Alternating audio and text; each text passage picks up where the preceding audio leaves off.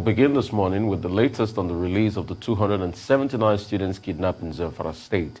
And after spending days in the hands of their captors, the students of the government girls' secondary school in Yangde, Jangebe has regained freedom. Video footage showed that the girls in the early hours of this morning at the government house in Gusau uh, the girls were abducted from their boarding school in Jangebe, Zamfara State, last Friday morning. It is the latest mass kidnapping from the school in recent weeks.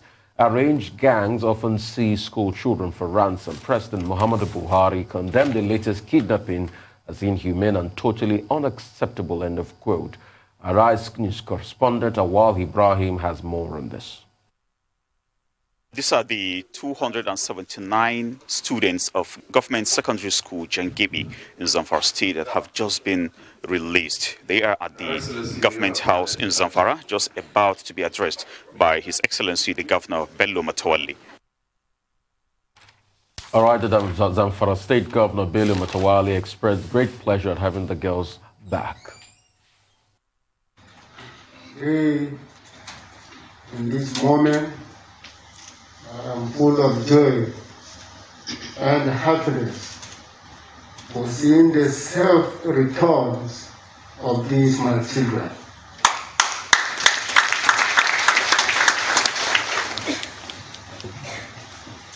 It was on Friday,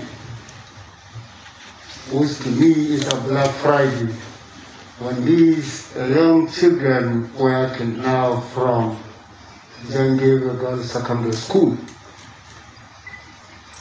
Since when the incidents happened, I myself, my family, the whole security of my cabinet, we did not sleep.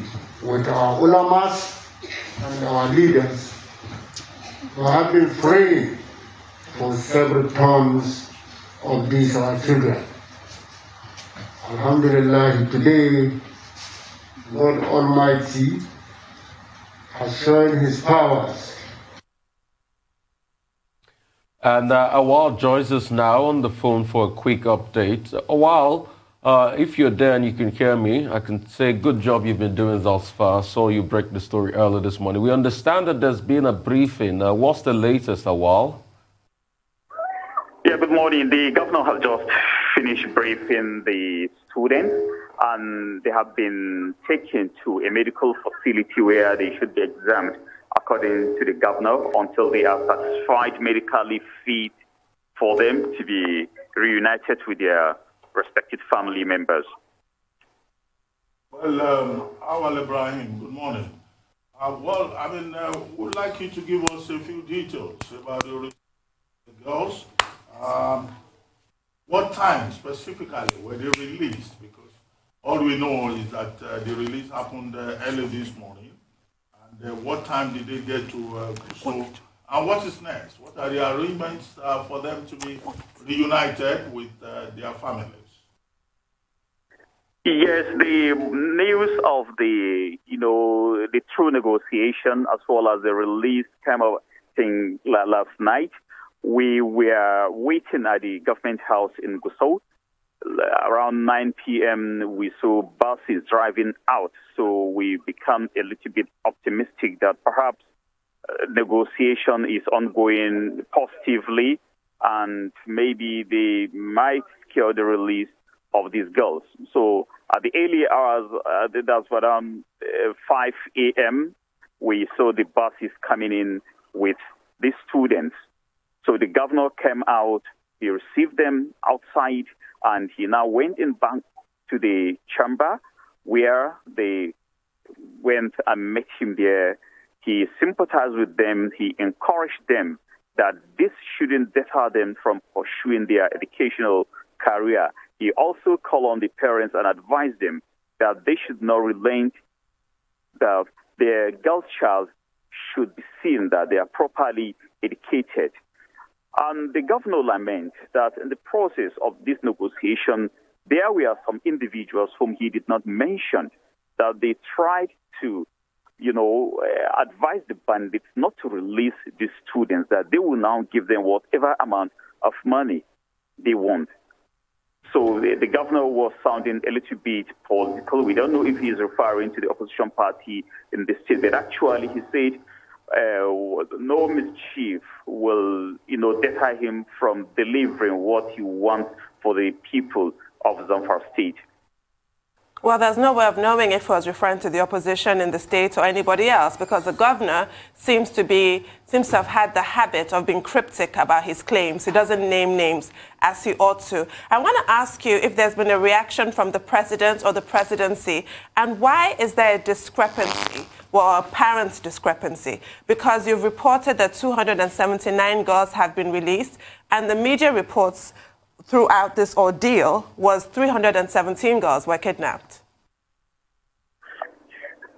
Yes, actually, the, the, yesterday I had a conversation with someone here. In, so what he was saying, though I, I just don't want to rely on that, but he was telling me that uh, what the bandits were saying, they are going to release others on free of charge basis, where they will now remain with others until they are being paid ransom. But in an interview I had with the State Commissioner for Security, he told me that no student is remaining in the hands of those bandits. So the figure was 312,379, and now this morning we are told they are all 279.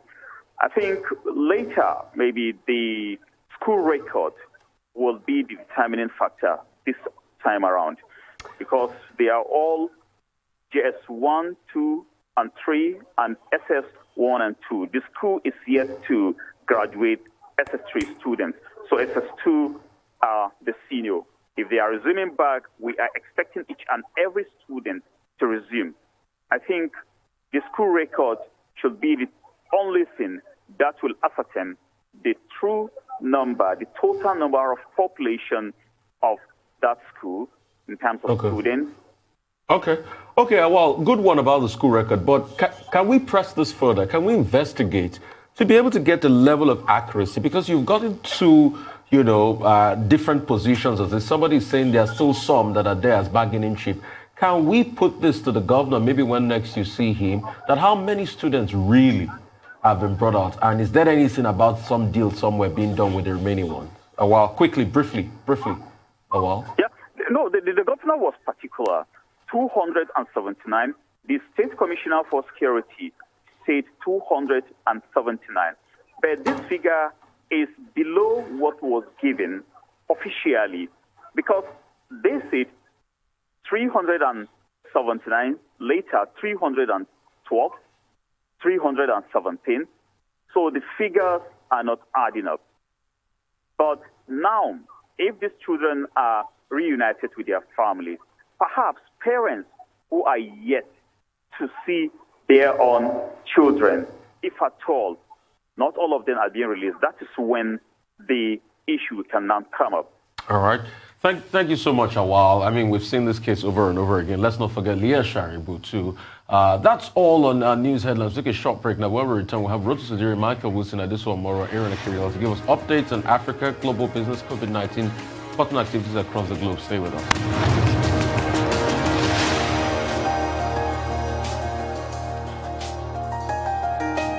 All right, welcome back to the show. Uh, still the morning show right here on the Arise News channel. Our dependable Rotus Oddiri joins us now for Africa Business Update. Roots, good morning. Over to you. How are you? Good morning, Rufai. Good morning, Doctor. Good morning, Tundun. Good morning, morning. to all our viewers. Yes, um, it's one of my favorite things to do, actually. Company earnings. This is where we get to look at the business environment within which companies in Nigeria have been, you know, uh, engaging in their practices in, and to see how the environment has affected them. So we have three earnings reviews here try to get to them as quickly as possible. Starting with Dangote Sugar Refinery, they just released their results uh, over the last um, 24 hours, and you can see they're all in green. Pretty impressive revenues. Top line revenues, 214 billion naira. About 96% uh, uh, of their revenues are due to their sale of 50 kg bags of uh, of sugar. Lagos State, as far as segmented regions are concerned, Lagos amounted to about I think about 48% of their sales sales. So revenue up by 33%, their gross profit was up by 40%, their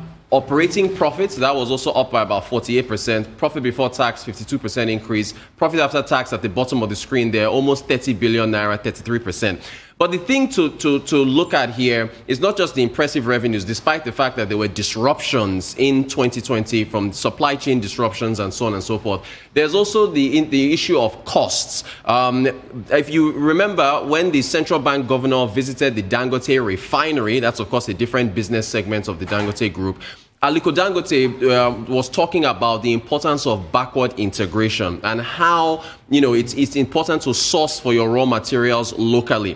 Dangote Sugar's um, uh, cost of sales increased by about 30% to 160 billion naira. Uh, their 76% of their cost of sales came from their raw materials. Raw materials increased by 35% to 122 billion naira. So, in the course of their backward integration programs, where they've been trying to source more uh, sugar from here, because a portion of their costs still come from importing sugar overseas, but they are majorly moving towards doing that locally. They had a merger with um, Savannah Sugar Group, which was operate, which became uh, completed in September of last year. So they are moving in the right direction. But inflation was uh, a, a, burden on their costs because it increased their cost of materials. They suffered a uh, foreign exchange loss as well, which we will see across a different um, uh, range of companies. So while the result was very good, very impressive for a pandemic year, we still have to keep in mind that their costs were pretty high, especially when it comes to their sourcing of raw materials. And we move on to Nestle. Uh, Nestle, of course, is in the uh, food and be- consumer goods in the food and beverage business. Nestle's results weren't impressive. You can see in the red there, uh, while their revenues are up just by 1%, so 287 billion naira, you can see their gross profit dropping by 7%, profit before tax dropping by 14%, uh, profit after tax dropping by 14.1% as well. Nestle, it's the same story. Um, their, this raw, raw material costs jump by about 13%, their cost of sales jump by 10%. If your revenue is climbing by just 1%, but your cost of goods is rising by 10%, then you have a problem. Nestle also have a significant amount of loans that they took from their parent company. So they had an increase in finance costs, but pretty much the same issues that Dangote Sugar was facing in terms of cost of doing business acquisition of raw, you know, getting raw materials, inventory buildup, the pandemic, they were they, they suffered heavily. Um, I think beverages is what really drove their revenues for Nestle. Beverage revenue was up about 6.9%, almost 7%, but food revenue fell by 2.5%. So they, they struggled a bit, and it's because of the amount of costs that they are, they are, they are facing. Um, so from Nestle, we go to uh, MTN. Uh, MTN. Huh. Now, so this is where we're looking at food in one section. Now we're looking at telco. So look at this. MTN record-breaking revenue, 1.3 trillion with a T, trillion naira. This is the highest uh, revenue line we've seen for any publicly traded company in Nigeria. 15% increase from 2019. Operating profit, 426 billion, 8.5% increase. Profit before tax, 2.6% uh, increase. You can still see, despite the gargantuan increase in revenue, look at their profit after tax. It's just 0.9 5% higher than, uh, than 2019. 205 billion naira. Oh, MTN too. Also, if you look at it, we can take a look at our revenue breakdown. I think we got two uh, uh, slides here. Revenue breakdown. Voice and data accounted for about 98% total of MTN's revenue for 2019. You can see voice increasing by 5.6%. Look at data, 51% increase versus 2019, which tells you when you think about people renewing data, data, data, you can see how the data filters into their revenue. SMS um, revenue fell versus 2019, which tells you that I guess Nigerians weren't sending as many SMS messages as they were with data browsing. And then this inter- interconnection and roaming, that's at the bottom for those of you that travel overseas and roam your phone. You can see how much revenue they made from that 133 uh, billion naira. So it tells you that even with the telcos, I guess a lot of people staying home, the pandemic drove, you know, uh, pretty much uh, fed into them, uh, increasing their revenues. But they also faced a lot of costs, like Dangote Sugar, like Nestle. Um, MTN had to pay a lot in you know, regulatory fees. There's also the FX impact on uh, their uh, revenues because a lot of their towers, I believe, they, are, they have dollar liabilities with respect to some of their towers that they have. And so with the devaluation, the two devaluations we saw last year, when you when you have dollar liabilities and you're paying bills in dollars, if the dollar moves against you, then your costs are going to grow up, go up. So look, the general thing here is that just looking at these three companies, Dangote Sugar, uh, Nestle, and MTN, uh, you know, from food to consumer goods, uh, and then also with telcos. Essentially, you can see that they, they, they, they did okay, right, as far as the year was concerned, but going forward, looking at the, the environment, the regulatory environments, the cost of doing business, it is impacting on these companies. And had inflation not been so high, cost of acquiring goods not been so high, we probably have been seeing even better revenues from these companies. But, um, I mean, you know, it's only a handful. This is only three. There's a whole bunch of other companies not doing so well. But it just gives you a snapshot of what they went through in 2020. All right, the question okay. to ask is how do these companies manage to post these good numbers mm. uh, considering the fact that all of us were concerned about the uh, constriction of the global commerce environment in the year 2020. Mm. Well, the telcos, you can easily explain, but if you were to add the banks, the banks also made, uh, you know, uh, good numbers, uh, and the stock market was uh, bullish. So, to an ordinary person, the question would be, what explains this? There's some kind of special magic uh, that was adopted. You can understand that of the telcos, for example. Uh, but right. These other companies, uh, banks, cement companies, what kind of magic uh, did they apply? Considering the fact that, in fact, uh, you know, there were, there were issues with supply chains in the year 2020. Uh, that, for me, is a question. And for investors, I know you economists and financial analysts you don't like to give free advice. Uh, but are there certain things that you know the investing community can take away from this kind of report? Yes. Um, the, the, what you can take away from it as an investor is that if these companies are still, you know, posting profitable numbers, then that's going to filter into um, their, their stock prices. Uh, MTN, I think their dividend, for a full year dividend is about 9 naira, 50, almost 10 naira dividends that, they, that, they, um, that they're going to be paying out. Decent dividend yield, decent payout ratio. Um, also, um, Dangote Sugar is also going to be paying out a dividend. So you're, you're getting capital appreciation, which is the increase in the stock price for each of these companies companies, and also the dividends they're paying out, which is the company sharing in the profits with shareholders. So shareholders are smiling. As far as the company performance, not much magic. I mean, Dangote Sugar was able to increase their sales volumes. There could have been also price increases there, here and there for some of their for some of these items. Nestle didn't do well. I mean, well, I shouldn't say Nestle didn't do well. Revenue was still up, but at the end of the day, their profit after tax was down by 14%. So Nestle kind of struggled a bit. So it's not all companies across the board performing magic. Mostly telecommunications because we're all staying home. Again, for MTN, almost 98% uh, of their revenues were from voice and data. So the more calls you and I were making and more data, data top-ups on our phones, revenues for telcos. So that's essentially how uh, the companies do it. For the financial services, more people sending, you know, doing transfers at home instead of visiting banks. Okay. So it's, a, it's, you have to cherry pick which of the sectors did well. But okay. investors in those companies will be happy because they, they did well. We, it's expected that 2021 okay. Mm-hmm. should be better with the delivery of vaccines and so on and so forth. Okay, Rotus, I mean, my argument is this, and, and this just has to be stated technology made the difference in all of this. When you look at the numbers critically, you can now see why Nigeria jumped out of the recession with over 0.11% growth because of the technology sector. And let me tell you what made the difference. Data made the difference. Data made the difference. Uh, but we, we need to go at this time. Thank you so much uh, for your time, Rotus. We'll go for a quick break. We'll come back and talk to Michael Wilson.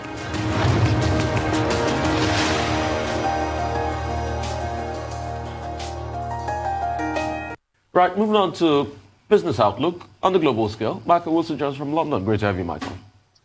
Morning, yeah. Uh, well, market's sort of on the mend, really, uh, overnight, or is our overnight when you're overnight too. Um, inflation fears slightly subsiding. Asian markets took a bit of a breather, but um, have to say that in the final hours of trading, um, a senior Chinese banking regulator warned of bubble worries, you know, that kind of thing that we've been talking about. And basically, um, so there was a bit of a mixed finish. But you have to contrast that with um, PMIs from the United States and also from Europe yesterday. And despite the fact that Asia delivered that kind of slightly Lunar New Year affected result, because many people have been on, on holiday, um, it looks like inflation fears have slightly gone away, but we'll see we need to factor into that, of course, the fact that the uh, the Biden stimulus package, as well as the J and J COVID nineteen uh, vaccine approval, Novavax not that far behind, those might put inflation fears back in the box. They might bring them to the fore. I don't know at the moment, but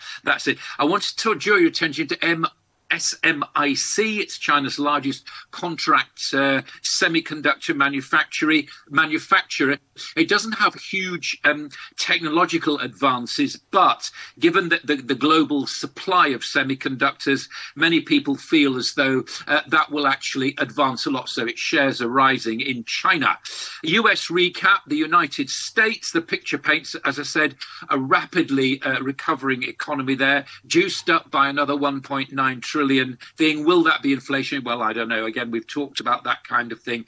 But the Dow rallied by 1.95% yesterday, the biggest one day since June. Zoom it's expected its boom will continue beyond the pandemic. It predicts faster both uh, growth in the coming year, moving from what it describes itself as being a, a killer app company, uh, not just about video conferencing now, but becoming a platform. They're predicting they're predicting revenues for the coming year up 40%, 40%. That's what they're saying. Shares of Apple closed up uh, yesterday to a price of $127, outpacing the Nasdaq in general. That bump came after the Barclay, uh, um, Berkshire Hathaway chairman, CEO Warren Buffett. Well, as you know, he was talking over the weekend. Uh, it is, in terms of his portfolio, Berkshire's third most valuable asset, uh, and he praised uh, the company quite fulsomely, particularly about its share buyback situation. Here in the UK, um, now, the budget, uh, the Chancellor, the Finance Minister, it hopes will be arming the city for a for a sort of fight back uh, with a listings re- regime to shake it up for more IPOs and also SPACs as well. We've talked about those. I don't think we need to uh, tell our viewers anything more about those kind of things. I think they're a bit bubbly, but there we are. Uh, more dual class shares that gives the founders of companies more control over where those companies actually go. Uh, obviously, facing competition from uh, other places like Dublin and Luxembourg. They're the top ones. Amsterdam, too. Nearly half of firms have moved their staff or some of their staff into the EU as a result of Brexit. 8,000 jobs have left the finance centre. UK, though, um, is attracting Trustpilot. This is the biggest company from the EU to announce plans to list in the UK. And also, finally, some statistics here about hybrid cars. We have a big consumer thing called Which, which has been going for many, many years, which is a consumer company, a consumer magazine as well. And they're saying that power supply cars, uh, mixed power supply cars, are far less efficient than their advertising actually claims. As far as commodities are concerned, we talked a little bit about this yesterday. OPEC Plus meets on Thursday. Brent crude is falling as a result of that. There may be more supply. Uh, expectations are rising that uh, OPEC will, in fact, OPEC Plus rather, will um, reduce their production production cuts production cuts even further. That's not helping. Gold, its woes actually continue. Uh, stage an intraday rally, but it's still around about that 1760 uh, dollars an ounce, and uh, it's looking really increasingly bleak for, for that precious metal. Over to you. That's the global. Yes, Michael, uh, very quickly. Uh, let's start with uh, Zoom. Eric Yuan, the Zoom uh, boss, uh, is very uh, enthusiastic about what I will call the future of work. He believes that remote work will continue and that remote work has become the new normal. Well, is his optimism well placed? I, I, know, I mean, his business doing over 326% in terms of advantage and profit, you probably want that to continue. But with supplies, with vaccination increasing, are we uh, at a place where remote work uh, has become the new normal? Secondly, uh, yesterday, our own uh, Dr. Ngozi Okonjo-Iweala uh, assumed office at the headquarters of the uh, WTO in Geneva. And two issues that she spoke about. One, fishery subsidies, the negotiations on that. And she says it's about time that ended after two decades of negotiations. I know Santiago Wills, ambassador, uh, you know, for, uh, is uh, excited. Uh, but again, optimism, what do you think WTO can do in that regard? And then our commitment uh, to the issue of ensuring uh, global vaccine equity and ending protectionism around the issues of the supply chains in terms of uh, the relationship between rich countries and developing countries with regard to the vaccine. Right, vaccine, first of all, what it needs, what somebody needs to do is to convince the naysayers that actually the vaccine is probably quite a good idea.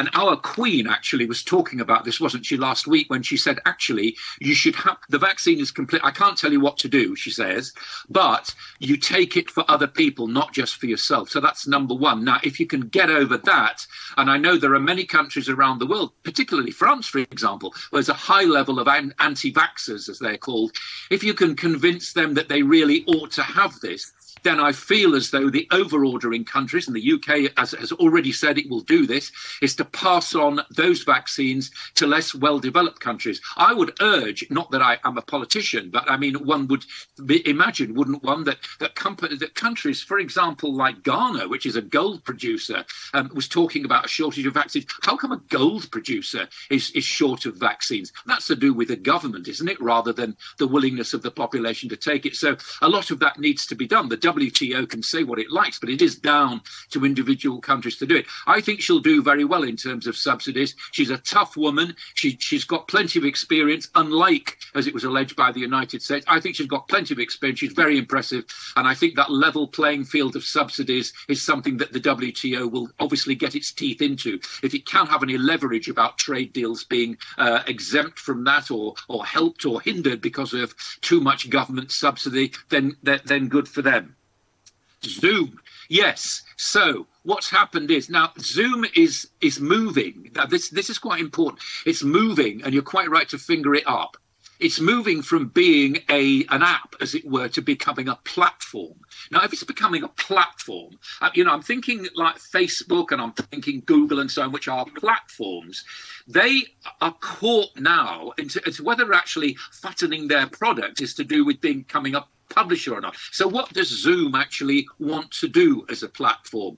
As so that's number one. Number two, when I don't know what it's like with you, but when I talk to my friends who work in the city here, they say they are not going to go back to their offices. They're not going to go onto public transport, except when they actually need to. The, the rising wish of people to work from home is quite significant, much higher than it was a year ago. So I think that's what Zoom is putting its money on. Video conferencing is not ideal. Face to face is always better. I personally find those Zoom conferences a pain because you've got to keep your attention up for an hour. You know, you have to look interested for an hour and you might want to look away, you might want to do something else, just like you do in normal kind of meetings. But I feel as though Zoom is onto something. And I do, and if you if you're asking me whether the new normal will be pe- people going back to the office as they originally were, I think the answer to that question, according to surveys here at least, is a resounding no.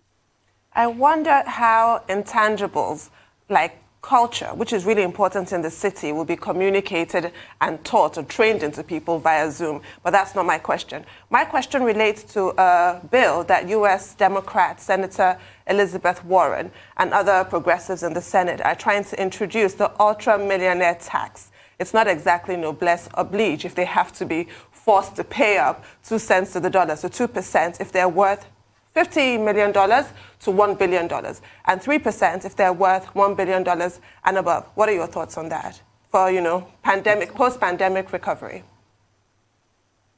my thoughts are good luck with it. I mean, it seems like a good idea for those of us who don't earn that kind of money, doesn't it?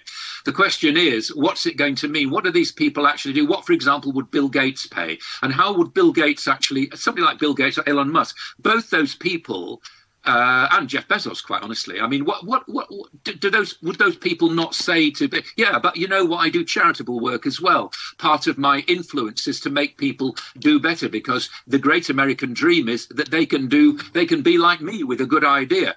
I feel as though it's it it sounds like a good idea. It's very simplistic. Number one, and and I feel as though it's it's very much kind of we're all pressing our noses up against the glass, hoping that rich people actually pay something. Well, they might do, but they they might well argue that they do other things as well. That's the danger about it. I feel as though it'll fizzle out, quite honestly, but it's no bad idea.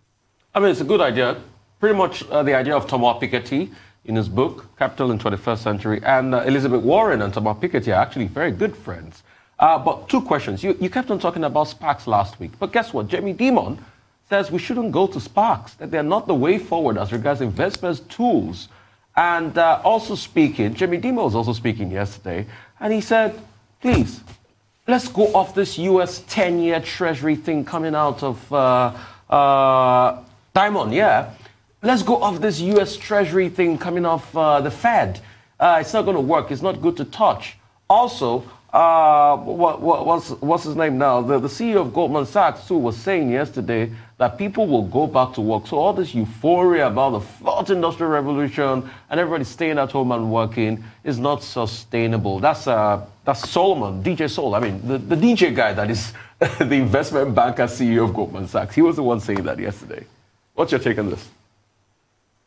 I, I, don't think he's right. I think that I don't think that people will go back to work. I think there is a certain amount of them, but if you look at the driver of it, which is commercial property, they are factoring in the fact that offices will actually need, need much less space. How, for example, do you do you evacuate a tower like Canary, one of them is those in Canary Wharf, for example, or one of those on Wall Street? How long does it take to evacuate a building if one person is going to go in a lift? Does it does it does, will this involve social distancing? I really don't see it. I'm not saying that everybody will work from home. And I, and I think the point about culture is a very, very important one because as everybody knows, what you do is if you're smart, is that you copy what other people do within the office situation. You ask them for advice. Your advantage is that you're younger usually than they are. So you don't have to make the mistakes that they do. And you can just copy what they do, take their best advice. That's that's growing up. That's what that's what the, you know most people actually leaving home will actually go to an office. It's their first experience of grown up life. Now, I'm not, it's not good to be behind a screen, but the fact of the matter is, until a large proportion, a large rump of people decide to go back to the office, then, then they probably will. As far as SPACs are concerned, I don't think they're a good idea. I don't think a good idea or a bad idea. I mean, they might be. There's 180 of them in New York at the moment. There are none in London. Does it have a bubble scent to it? Yes, it certainly does. What's actually pushing it? The usual yield. That's all it is. Just people saying we we want to get some interest. You put it in a bank, you get nothing. You put it in a SPAC, you might get a, a, company working well. But does it does it have a smack of the bubble about it? Yes, it most certainly does. And I think that that's a big warning sign as well. People are looking at it very very carefully. The problem is it might start to have a life of its own. If it does, then it will be a bubble. Treasuries. Jamie is talking about treasuries real quickly, briefly as we wrap up. It says don't touch the 10 year America Treasury the Fed is putting out. Don't touch it. Oh, okay. Jamie Dimon saying, well, he can. I mean, yeah, you know, I. Uh, I, what, what, what does he mean? You mean you don't want to go long term as far as bonds are concerned? But the bond market makes up its own price about these kind of things. It's not like somebody saying don't do this. What I'm not quite sure what he's was afraid of. If you know, I'd rather go to a bond dealer. Not that I would, because it's deeply complicated. But if he's what he's saying is that the implication is they'll be worth nothing because interest rates are going to rise. That's the question. Now, is that what he's saying? If he, if he's saying that, very possibly. Who knows? I, that's exactly what he's saying, I should tell you, because of interest rates and, you know, the inflation that'll come out of all this 1.9 trillion spent in America has turned. But thank you so much for your time, uh, Michael. For updates on COVID-19 pandemic, I just want more right here. That'll be after a quick commercial break. We'll be right back.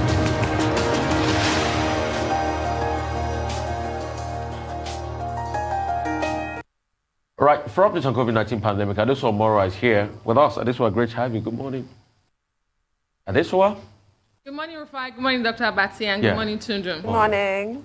Yes, so the number of coronavirus uh, globally, uh, infections globally, actually rose last week, uh, bucking the unprecedented trend uh, which had raised hopes that the pandemic was actually abating.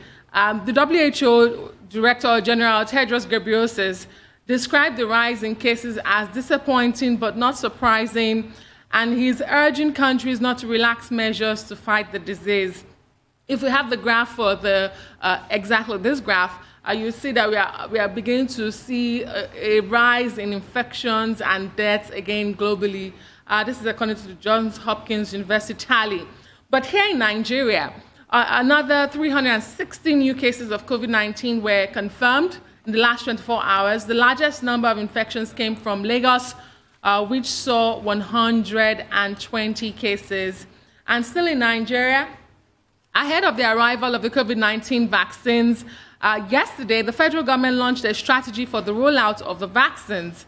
Uh, it's codenamed TEACH, which combines indigenous traditional approaches with modern technologically enabled systems of vaccination, as well as leveraging experiences gained during the polio eradication. Uh, it would help the government, they say, to track the vaccination process across the country and also ensure a phased and equitable distribution. Now, the NHP NHPCDA, which is the primary uh, body for immunization in Nigeria, has also approved an uh, electronic registration link to enable Nigerians provide information on their preferred location to receive their doses pending the availability of this vaccine. So there you have it on your screen, the teach strategy, the phases of people that will be uh, that will be vaccinated, and of course the link to register. Uh, talking about the vaccines, in about three hours from now, guys, Nigeria's first tranche of COVID 19 vaccines should be touching down at the Nnamdi Azikiwe International Airport in the nation's capital, Abuja. Uh, they're coming from Mumbai, India. It will be a truly historic moment for the, for the continent's most populous nation, Nigeria. Um, there would be a small ceremony to receive the vaccines, we've been told. It would be chaired by the PTF chairman and not the president. A few vials would be handed to NAFDAC to be analyzed. Uh, a lot of the initial action for the vaccination campaign would be in Abuja for a while. Uh, that's because all vaccines, we are now told, would arrive at the Nnamdi Azikiwe International Airport. Any other entry into the country would be considered illegal. It would be confiscated by customs and NAFDAC. Uh, we also told yesterday at the PTF that once uh, NAFDAC approves this uh, vaccine, which is the Oxford AstraZeneca vaccine, strategic leaders, including the President, the Vice President, Inspector General of Police, Service Chiefs, Attorney General of the Federation, National Assembly leaders, traditional and religious leaders, would be vaccinated publicly in Abuja before it then moves to the states.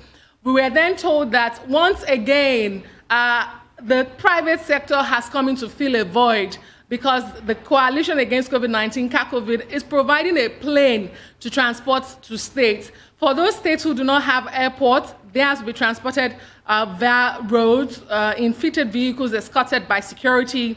And for those Nigerians who are worried uh, over sharp practices during this vaccination campaign, they may be assured by the plans of the federal government to ensure strict monitoring not only by the health regulators in the country, but also by the EFCC, the DSS, the ICPC, and of course, civil society organizations. So it would seem all is now set for vaccination campaign in Nigeria against COVID-19. This is exciting news, and it should be for everyone. Uh, finally, on the first day of her job uh, at the WTO, Ngozi Okonjo-Iweala, Nigeria's Ngozi Okonjo-Iweala, uh, that's her arriving at Geneva WTO yesterday.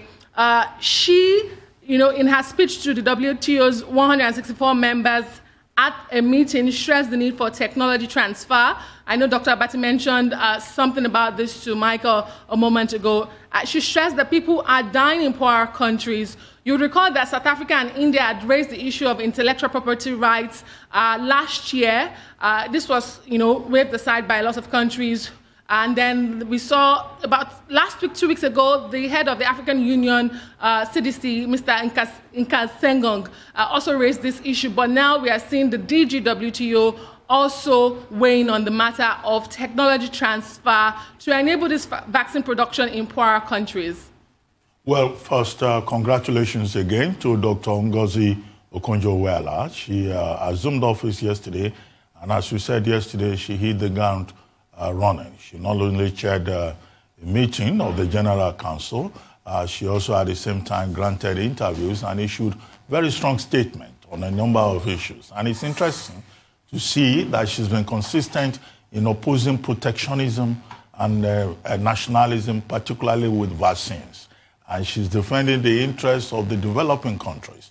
Now, she is saying that the manufacturers uh, should give a patent information to countries in poor parts of the world that have the capacity to be able to develop the vaccines mm -hmm. so that equity access you know, can be uh, facilitated. But you know, of course, that this has been a major issue. Pfizer, Moderna, even Johnson and Johnson Their CEOs are saying no, they do not intend to give any patent uh, information. Countries like South Africa, Brazil, and countries in Southeast Asia have also been saying, look, we have the capacity. Yeah. We can roll out the vaccines uh, much uh, faster. In Bangladesh, you know, there are factories, about three factories that are waiting, are just ready for, for the patent. But the uh, Europe and the United States and the WTO have been blocking uh, that access to the intellectual uh, property. Well, we hope that Dr. Ngozi Okonjo-Iweala will be able to address this and that uh, she will get the necessary support from Europe and also from the United States to ensure that the emphasis is on what Ursula von der Leyen, uh, the head of the EU, uh, EU Commission, refers to as the global common good. But the EU talks about the global common good, but they are not willing, they are not ready uh, to commit to it. As for Nigeria, yes, great excitement. We look forward to the arrival today of the vaccines. And it's encouraging to hear from Dr. Faisal Shuaib, uh, the head of the uh, uh, National Primary Healthcare Development Agency, that Nigeria is prepared, that we have the storage facilities. But from your report, are there certain things that they can do? One, uh, the local, uh, or what they call it, local strategy, or is it indigenous strategy? the TACH. Now, what does that mean in real terms? Uh, it's an acronym. I have not heard anybody breaking it down. Okay, you have it there on the screen. Yeah, I thought it's important that that is broken down uh, for the Nigerian people. Secondly, we're told that uh, frontline health workers are already being trained. Uh, we hope also that there will be uh, good coordination and good synergy between the federal government and the states now, you also said traditional rulers, the president, and some key officials uh, will be the first uh, to take the vaccine. Well, they will be following in the footsteps of other African leaders, as we have seen in Zimbabwe, Seychelles, Mauritius, uh, and even South Africa, where you know the leaders were the first to take it. And the issue relates to what Boss Mustapha, the secretary to the government of the federation, uh, referred to about vaccine hesitancy. And he also talked about elite resistance. Well, do they have a communication strategy in place? Because they will also need a communication strategy to be able to address the challenge of vaccine hesitancy. I'm going to add to that Ghana, where their president Nana Akufo-Addo has been front and center. He's been publicly vaccinated, as was his wife. So, what do you think of that, Adesua? We've discussed this briefly at some point, where the UK used the model of the first person to be vaccinated was in that vulnerable demographic. She was an elderly lady. In America, it was a nurse, another vulnerable demographic, a healthcare worker. But in Africa, it appears to be people who I suppose society is supposed to look up to and trust and to encourage them to actually take the vaccinations. We don't have that much time, unfortunately. I wanted you to tell me your thoughts on our approach to it. Well, thank you so much for your time, Adesua. I really appreciate you.